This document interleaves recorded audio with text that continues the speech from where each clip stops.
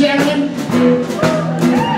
My good friends Chris and Amy Leigh ran this whole festival all weekend. It's an awesome job man. there. That's right. Outstanding. Well, they saw me running around with that girl with the bad makeup and the cheap shoes.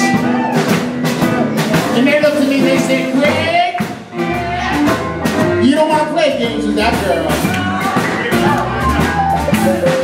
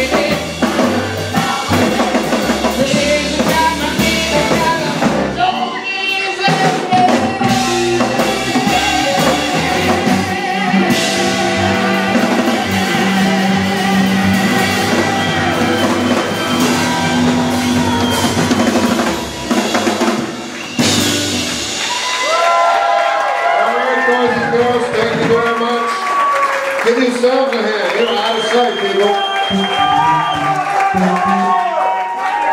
behalf of Chris and everybody behind this festival, thank you so much for coming. And we got to say good night. Thank you.